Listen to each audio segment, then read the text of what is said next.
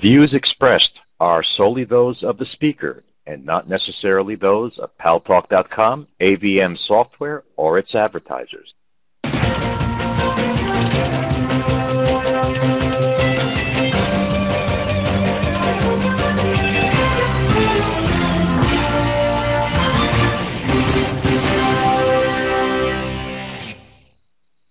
Talk is online. News Talk Online is a production of paltalk.com, the largest multimedia interactive program on the internet with more than 4 million unique users on demand on iTunes and on YouTube and on my blog, GaryBaumgarten.com, where you're encouraged to post your comments, whether you agree with yours truly or not. Hello, Daniel.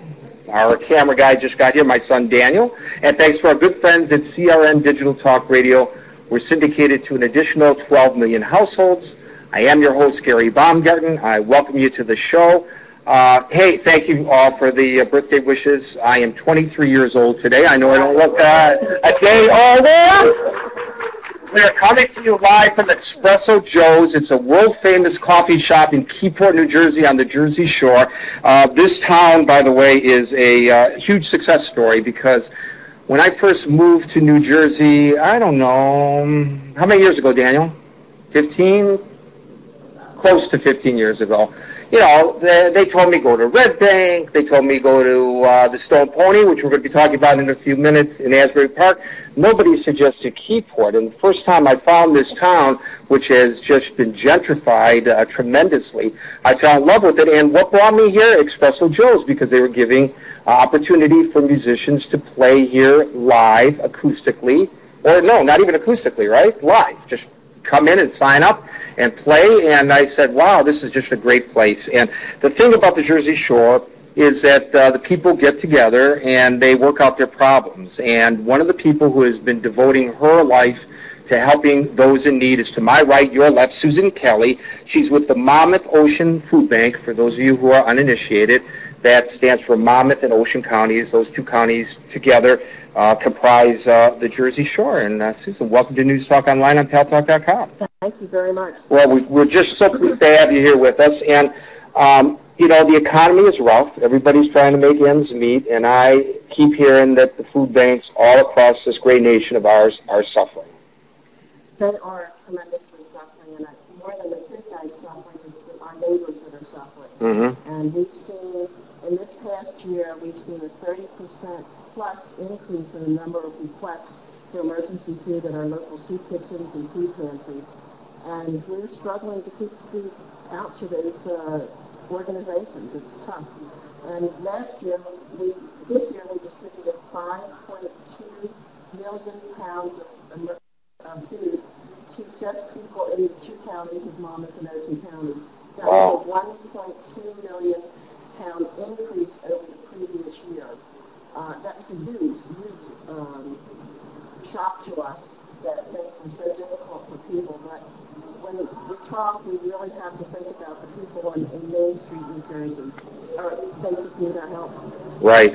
Um, now, one of the ways to help people and have a great time, this is just amazing. How many years have you been doing this, uh, this boardwalk relay? Well, this is our second year for the boardwalk relay race in Asbury Park, and it is fun. First, it's fun just because we're in Asbury Park, right. and we're, Talk about a, a town that's gentrifying, right? Yes. They're really Yes. working to build that town back up. And it's just that that we're there on the boardwalk. We're going to start at the Stone Pony. Yep. Uh, registration starts at 7:30. The race starts at 8:30, and we're going to have uh, a party at 10:30 to give out awards and, and celebrate all of the people who've come out and understand that there is hunger in our communities, and they're doing something uh, major about it. So it's a it's a three part race. If I wanted to run, here's the thought. The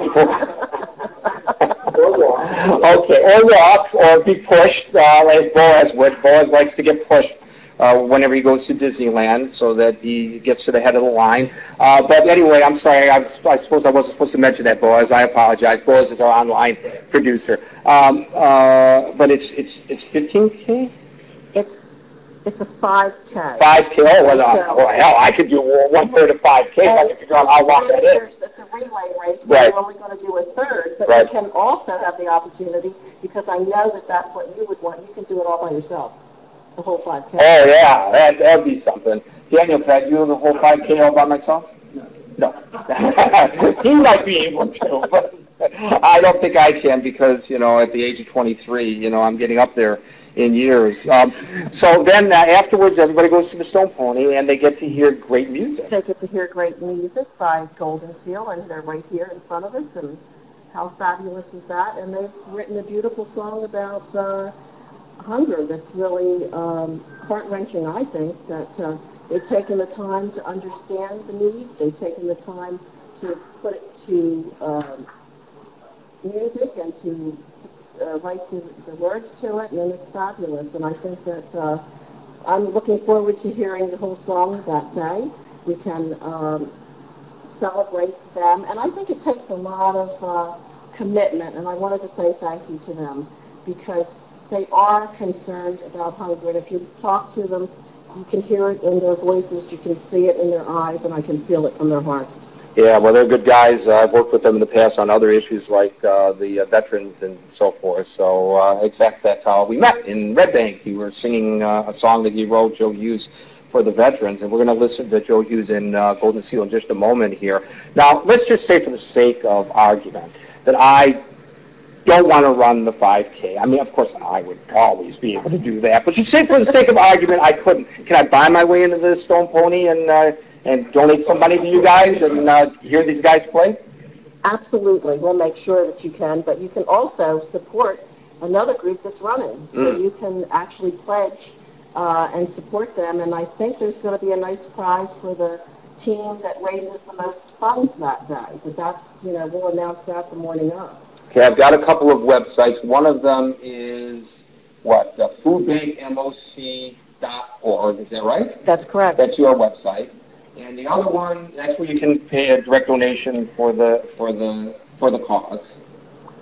Right? yes, that's correct. And boardwalkrelay.org. Did I get that right? That's correct. Boardwalkrelay.org. And you can sign up for the race, and we have about 200 plus uh, people already signed up. We know that there's a steady, uh, you know, influx of people signing up, and we'll see people can sign up the morning of at 7:30.